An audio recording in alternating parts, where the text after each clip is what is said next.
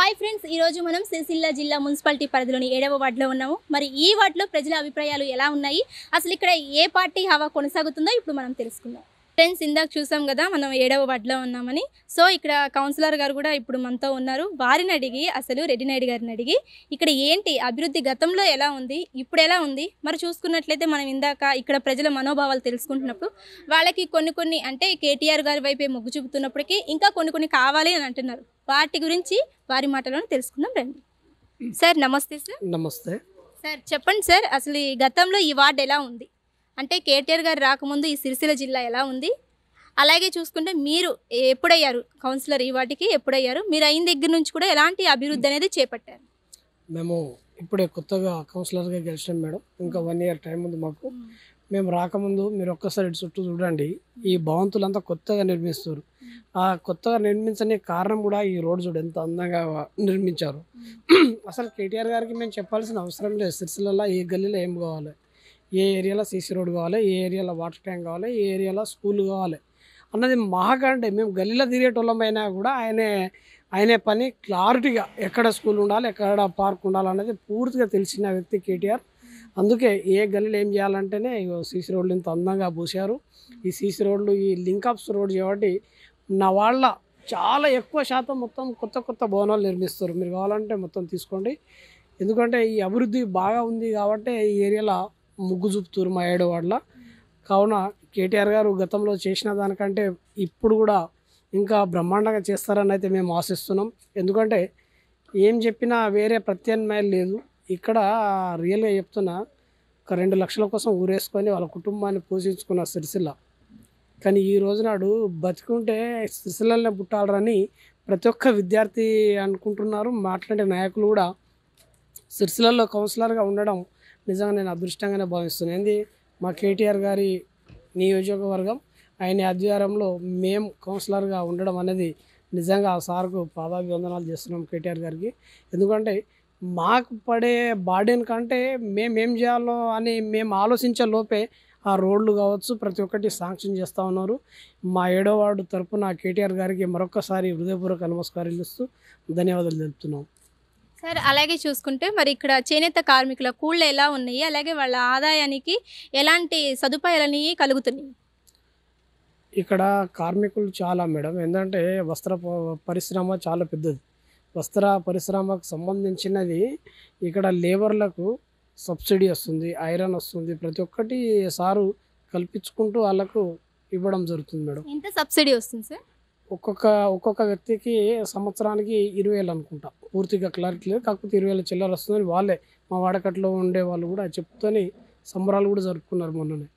మీరు కౌన్సిలర్ అయిన దగ్గర నుంచి ఎంతమంది మీ ద్వారా లబ్ధి చేకూర్చారు? దేని మీద?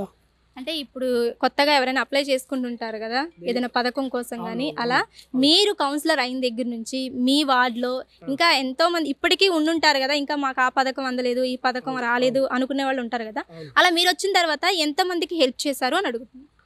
నా వార్డులో మూడు వందల డబుల్ బెడ్రూమ్లు వచ్చినాయి పది బీసీ స్కీమ్స్ లక్ష రూపాయల పూర్తి సబ్సిడీ వచ్చింది ప్లస్ ఎస్సీ ఎస్టీ వాళ్ళకు కూడా అభివృద్ధిగా లోన్లు కూడా ఇప్పించినాము. ఇంకా ఇంకేమైనా కావాలంటే కూడా ఈ రోజు నాడు డబుల్ బెడ్రూమ్ రాని వాళ్ళు ఒక ఆరుగురు ఉన్నారు. వారికి కూడా డెబ్బై గదాల జాగా కూడా పట్టా సర్టిఫికేట్లు ఇప్పించాం మేడం. వాళ్ళకు ఇదేంటి గృహలక్ష్మి కూడా స్కీమ్ కూడా శాంక్షన్ చేశారు ఆ ఆరుగురి కూడా పూర్తి అయిపోతుంది. కొంతమంది అడుగుతున్నారు. అంటే మేము సర్వే చేసాం కదా పొద్దున్న నుంచి Hmm. అప్పుడు వాళ్ళు అంటున్నారు మాకు ఇంకా కొంతమంది మాకు పింఛన్ అందలేదండి. మమ్మల్ని పట్టించుకోవట్లేదండి అంటున్నారు. ఏంటి అసలు అలా? అంటే మీరున్నారు కేటీఆర్ గారు ఇంత బాగా చేశారు అంటున్నారు వార్డులో కౌన్సిలర్గా మిమ్మల్ని పెట్టారు. అయినా కానీ ఎందుకు ఈ సమస్య ఎదురవుతుంది? మేడం గారు మీకు పెన్షన్ రావట్లేదా అని ఫ్యామిలీ అయితే అన్నారో. మీరు వాళ్ళ ఫ్యామిలీలో ఆధార్ కార్డులు చూసుకొని మీరు చెక్ చేయరి. భార్యకి వస్తుంది లేదా భర్తకు వస్తుంది. భార్యకైనా భర్తకైతే ఒక్కరికే వస్తుంది. కానీ రెండు కావాలంటే అది సాధ్యం పడదు. అది వాస్తవమైన ముచ్చట. మీరు కావాలనుకుంటే మీకు ఎవరైతే అడిగిరో వాళ్ళకి క్లారిటీగా వాళ్ళకి ఆధార్ కార్డు తీసుకురమ్మన్నారు మీరు ఆన్లైన్లో చెక్ చేయరు వాళ్ళ భార్య కన్నా వస్తుంది భర్త కన్నా వస్తుంది. ఇద్దరికి రానికి లేదు కదా. ప్రతి ఒక్క కుటుంబానికి ఒక ఒకరికి ఇవ్వాలని రూల్ ఉంది. ఆ రూల్ తప్పకుండా వస్తుంది. అసలు ఒక్కరు కూడా లేరు నా వాళ్ళ పెన్షన్ రాలేదు అనేటోళ్ళు ఒక్కరు కూడా లేరు. మీరు ఒక్కరు కనుక చూపించినట్టయితే అర్హత ఉంది నాకు మీరు దేనికంటే దానికి. అంటే మీరు చెప్పే విధానాన్ని బట్టి మరి ఇతర ఇతర పార్టీ వాళ్ళు మాట్లాడుకునే కామెంట్స్ ఉంటుంటాయి కదా. అక్కడ కౌన్సిలర్లు ఎందుకు వేస్ట్ వాళ్ళు ఏం చేస్తున్నారు ఏం చేయట్లేదు కదా అంటున్నారు. అంటే వాళ్ళు ఏమంటున్నారంటే మేమేం చేయలేదు. మా కేటీఆర్ గారే చేస్తారు మా కేసీఆర్ గారే చేస్తారు. మేమేం చేయలేదు. ఇవన్నీ చేస్తారు. ఇంకేముందండి మేము చేయడానికి? అని అంటున్నారు. ఇంకా వాళ్ళు ఎందుకు ఉంటున్నారు అని అంటున్నారు. ఆ మాటల్ని మీరు ఎలా ఖండిస్తారు? అంటే మీరు ఏం చేయలేదా? మొత్తం వాళ్ళే చేస్తారా మీరు నమ్మకే వస్తే ఉన్నారా? ఇప్పుడు ఈ ప్రతి గల్లీలో తెలంగాణ రాష్ట్రంలో మా కేటీఆర్ గారు ఉన్నారు. సిరిసిల్లలో ఎమ్మెల్యేగా ఉన్నారు. ప్రతి గడప గడపకు వార్డుగా కౌన్సిలర్ తిరుగుతారు. ఈ వాడకట్ల ఏం కావాలన్నది మేము పూర్తిగా సార్కు వాట్సాప్ పెడితే స్పందించి దాన్ని శాంక్షన్ చేస్తారు. మేమే కదా దగ్గరుండి చే చేపించడం కానీ వర్క్ పెట్టడం కానీ ఇక్కడ దగ్గర ఉండేది అయితే కౌన్సిలర్లే కదా. మరి కౌన్సిలర్ లేని ఏ నాయకుడైనా వహిస్తారా? ప్రజలు అటాచ్మెంట్ కౌన్సిలర్ లెక్క ఉంటారు. మేము సార్కి అటాచ్మెంట్ ఉంటాము. మేమేమో గల్లీ గల్లీ కడప కడప మేము తిరగాలి. కానీ కేటీఆర్ గారికి మేము వాట్సాప్ పెడితే సరిపోతుంది. సార్ మా గల్లీలో ఇది ఒకటి ప్రాబ్లం ఉంది సార్ ఇది కావాలంటే ఇమీడియట్లీ యాక్షన్ తీసుకొని ఏ ఆఫీసర్కి ఏం చెప్పాలో అది చెప్తారు మాకు శాంక్షన్ అయిపోతుంది. మాకు సరిపోతుంది కదా ఇంకేం కావాలి మాకు? చూశారు కదా ఫ్రెండ్స్ మరి ఇది ఇక్కడ ఉన్నటువంటి ప్రజల మనోభావాలు అయితే ఏంటి? మరి కౌన్సిలర్ గారు చెప్పినటువంటి విధానం అయితే ఈ విధంగా ఉంది. మరి చూద్దాం వేరే వార్డులోకి వెళ్ళి అక్కడ ఎలా ఉంది? అక్కడ అభివృద్ధి ఎలా ఉంది? వాళ్ళు ఏం కోరుకుంటున్నారు? ఇప్పుడు ఎలా ఉంది? తదితర అంశాన్ని తెలుసుకుందాం రండి. సార్ నమస్తే సార్. నమస్తే. మీ పేరు? శ్రీధర్. ఏం చేస్తుంటారు? Textile business. సార్ చెప్పండి ఇక్కడ ఎలా ఉంది? అంటే టీఆర్ఎస్ హవా కొనసాగుతుందా? లేకపోతే కాంగ్రెస్? బీజేపీనా? ఎలా ఉంది? టీఎస్ సార్ కేటీఆర్ కేటీఆర్ అంటే ఎందుకు అలా అనుకుంటున్నారు ఇక్కడ అంతా టీఆర్ఎస్? సిరిసిల్లలో చేసే అభివృద్ధి మా టెక్స్టైల్ సంబంధించిన అభివృద్ధి అన్ని విధాలుగా సార్ చేసిండు. వర్కర్స్ కూడా వర్కర్స్ టు ఓనర్ పథకం త్రిప్టు పథకం రకరకాల స్కీమ్స్ ఉన్నాయి. అందరికీ అందుబాటులో సార్ ఉంటాడు. చాలా బాగుంది ఇక్కడ. ఇంకేమైనా అభివృద్ధి జరగాలంటారా? సిరిసిల్లలో కానీ మీ వార్డులో కానీ ఇంకా జరిగే ఉన్నది అంటే ఎలా ఎలాంటి అభివృద్ధి ఇంకా? టెక్స్టైల్ ఇంకా ఇంకా చేసే ఉన్నాయి. సార్ కూడా దాన్ని కూడా ముందుగా చేస్తుండు. సార్ కూడా ఇంటర్వ్యూషన్ ఇచ్చాడు. చేస్తా అని చెప్పి అన్ని విధాలుగా మీకు సౌకర్యంగా ఉంటానని చెప్పి అన్నారు. ఆ మాట కూడా సార్ నిలబెట్టుకుంటాడు. సార్ మీరు చెప్పండి సార్ మీ పేరు? ఉరిషా తిరుపతి మాజీ సింగళూరు చైర్మన్ పెద్దూరు. ఏం చేస్తుంటారు సార్? వ్యవసాయం మాజీ సింగళూరు చైర్మన్ ఇచ్చిన పెద్దూరు సొసైటీ. సార్ మరి వ్యవసాయం చేస్తామంటారు గతంలో రైతుల పరిస్థితి ఎలా ఉంది? ఇప్పుడు ఎలా ఉంది? ఇప్పుడు బాగానే ఉంది. డెవలప్మెంట్ ఉంది. టీఆర్ఎస్ గతంలో ఎలా ఉంది మరి? గతం కంటే ఇప్పుడు మెరుగు ఉంది ఆ, గతంలో ఎలా ఉంది గతం కంటే ఇప్పుడు బాగుంది. గతం బా- మా- మా- గతంలో గతం బాగాలేదు. రైతుల పరిస్థితి ఎలా ఉంది? రైతులు అప్పుడు వాటర్ లేకుండే. వాటర్. ఇప్పుడు వాటర్ సదుపాయం మంచిగా ఉంది. పింఛని రైతు బీమా రైతు బంధు ఆసరా పింఛని వీటితో మంచి డెవలప్మెంట్ ఉంది. బైపాసులు కాలేజీలు స్కూళ్ళు కే కేటీఆర్ వచ్చింది ఉంది. చాలా డెవలప్మెంట్ అయింది. ఇంకా డెవలప్మెంట్ కోరుకుంటున్నాం. వైద్యం విద్యం నిరుద్యోగం కావాలని కోరుకుంటున్నాం మంత్రి గారిని. అంటే మీరు ఓటు ఎవరికి వేద్దాం టీఆర్ఎస్ ఏ ఇతర ఏ పార్టీకైనా మొగ్గు చూపే లే అవకాశం లే ఉందా? టీఆర్ఎస్ ఎందుకని? డెవలప్మెంట్ చూసి ఇంకా డెవలప్మెంట్ అయితే కోరుకుంటున్నాం. అంటే అయితే హోప్ ఉంది. మీ పిల్లల భవిష్యత్తు. నిరుద్యోగ సంస్థ పోవాలి బట్టి వైద్య విద్య మంత్రి గారు కావాలని కోరుకుంటున్నాను. మళ్ళీ కాబోయే ముఖ్యమంత్రి కూడా మంత్రి గారికి ఛాన్స్ ఉంది కాబట్టి ఇంకా డెవలప్మెంట్ మా సిరిసిల్ల ఎత్తని మనస్ఫూర్తిగా కోరుకుంటున్నాం. కేటీఆర్ అధిక మెజార్టీతో రావాలని మనస్ఫూర్తిగా కోరుకుంటున్నాం. థ్యాంక్ యూ అమ్మ నమస్తే. నమస్తే అండి. మీ పేరమ్మ? నా పేరు శ్రీలత. అమ్మ చెప్పండి మీకు పాలిటిక్స్ మీద ఏమైనా ఐడియా ఉందా? ఉందండి. ఎలా ఉంది మరి ఇక్కడ సిరిసిల్లలో అయితే ఏంటి తెలంగాణలో అయితే? ప్రజలు ఎవరి వైపు మొగ్గు చూపుతున్నారు? ప్రజలు బీఆర్ఎస్ వైపే ముగ్గు చూపుతుండ్రు. సిరిసి తెలంగాణలో number one BRS party. KCR వచ్చిన పది సంవత్సరాలలో ఎంతో అభివృద్ధి సంక్షేమం రెండు సమపాలలో చేసుకుంటూ ముందుకు పోతుండ్రు. పింఛన్లు కానీ కళ్యాణ లక్ష్మి కానీ ఆరోగ్యలక్ష్మి కానీ రైతు బంధు కానీ రైతు బీమా కానీ ఇలా ఎన్నో అభివృద్ధి సంక్షేమం అన్ని కులాల వర్గాల వారికి కూడా ఎంతో బాగా అభివృద్ధి సంక్షేమ పథకాలు ప్రవేశపెట్టిండ్రు కాబట్టి అందరూ కేసీఆర్ వైపే మొగ్గు చూపుతుండ్రు. ఇంకా ఇక్కడైతే సిరిసిల్లలో మాత్రం తెలంగాణలో సిరిసిల్ల నెంబర్ వన్గా కేటీఆర్ గారు అభివృద్ధి చేశారు. కాబట్టి అందరూ కేటీఆర్ గారికి సపోర్ట్గా ఉన్నాం మళ్ళీ తెలంగాణలో బీఆర్ఎస్ పార్టీయే మళ్ళా కేసీఆర్ గారే హ్యాట్రిక్ కొట్టబోతున్నారు.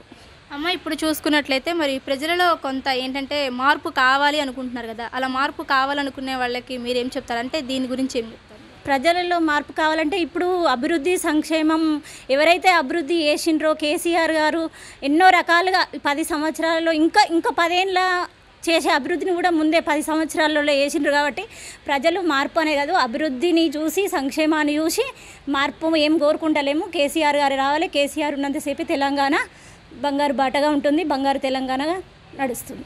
మరి ప్రజలలో కొంత ఏంటంటే యువత మీద ఉంది. అంటే ఊళ్ళల్లో అంటే అభివృద్ధి చేశారు అలాగే యువతకి సదుపా సదుపాయాలు కూడా ఉన్నాయి.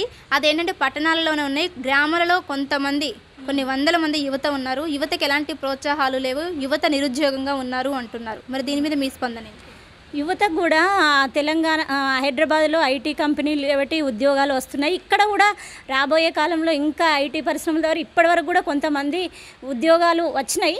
ఇంకా మును ముందు ఇంకా ఉద్యోగాలు వస్తాయి. మనం ఒకటేసారి అన్నీ వేసుకోలేము కాబట్టి ఇంకా రాబోయే కాలంలో యువతకు ఇంకా మంచి మంచి నిరుద్యోగ నిరుద్యోగులకు ఇట్లా పరిశ్రమలు కానీ ఐటీకి సంబంధించినవి కానీ పెట్టి మున్ముందు ఇప్పటికీ జరిగినాయి జరగలేదనకపోవడం లేదు. ఇంకా మున్ముందు కూడా జరుగుతాయి. అంటే గత పది సంవత్సరాలుగా యువత వెనకబడే ఉన్నారు అని. ఏమంటున్నారంటే కేటీఆర్ గారు ఒక హైదరాబాదు లేదంటే ఏదైనా అక్కడ ఉన్నటువంటి ఏరియాస్ని డెవలప్ చేస్తున్నారు. తన సొంత నియోజకవర్గంలో యువత ఎలా ఉంది అనేది లేదు. ఉన్న వాళ్ళకే పథకాలు ఇస్తున్నారు. ఉన్న వాళ్ళకే అన్నీ వస్తున్నాయి. లేని వాళ్ళు లేని వాళ్ళగానే ఉంటున్నారు అని అంటున్నారు కదా. మరి ఏంటి? దీనికి ఆహా పదే కాంగ్రెస్ పాలనలో ఎన్ని ఉద్యోగాలు అంతకన్నా మూడి అంతకన్నా ఎక్కువనే తెలంగాణ వచ్చిన పదేళ్ళ ఉద్యోగాలు ఇచ్చిండ్రు. ఉద్యోగాలు లేకపోవడం అనేది లేదు. ఉద్యోగాలు వస్తున్నాయి. ఇంకా ఇంకా రా- ఇంకా రాబోయే కాలంలో కూడా ఎన్నో ఉన్నాయి కాబట్టి ఇంకా మన కేసీఆర్ గారు వస్తే ఇంకా రాబోయే కాలంలో కూడా ఉద్యోగాలు ఇస్తారు. ఇప్పటి వరకు కూడా మస్తు అరవై ఏళ్ళ పాలన కాంగ్రెస్ ఇచ్చిన దానికంటే ఎక్కువనే పదేళ్ళలో నిరుద్యోగులకు ఉద్యోగాలు వచ్చాయి. థ్యాంక్ యూ సార్ నమస్తే సార్ నమస్తే అమ్మ. సార్ మీ పేరేంటి? మాధవరావు. ఏం చేస్తుంటారు సార్ వ్యవసాయము వ్యవసాయం. సార్ మరి చెప్పండి వ్యవసాయం చేస్తామంటున్నారు కదా. గతంలో అసలు వ్యవసాయం ఎలా ఉంది? ఇప్పుడు ఎలా ఉంది? అంటే మీ చిన్నతనంలో కానీ ఇప్పుడు కానీ ఎలా ఉంది? ఇప్పుడు మన కేటీ మన కేసీఆర్ సార్ వచ్చిన తర్వాత వాటర్కు చాలా ఇబ్బంది లేకుండా అన్ని డ్యాములు చేయబట్టి మనకు నీళ్ళు పుష్కలంగా కాబట్టి పంటలు బాగా వండుతున్నాయి. మనకు కేటీఆర్ సార్ కూడా ఇక్కడ మాకు డెవలపింగ్ బాగుంది. మాకు మిడ్ మ్యానర్ వాటర్ కాబట్టి పుష్కలంగా వాటర్ చేయబట్టి రైతులకు ఇబ్బంది లేదు. మళ్ళీ రైతు బంధిస్తారు. ప్లస్ పంట కూడా చాలా బాగుంది. పండుతుంది. అంటే ఇక్కడ ప్రజలు మార్పును కోరుకుంటున్నారంటే ఈ ప్రభుత్వం కాకుండా ఇంకా వేరే ప్రభుత్వానికి అవకాశం ఇద్దాం అనుకుంటున్నారు? లేదు ప్రస్తుతానికి అయితే మాకు కేటీ సార్ కేటీఆర్ సార్ కావాలి కంపల్సరీ. ఈసారి మాత్రం తననే లక్ష మెజార్టీతో గెలిపించుకోవాలని ఉన్నాము. ఖచ్చితంగా గెలిపించుకుంటాం.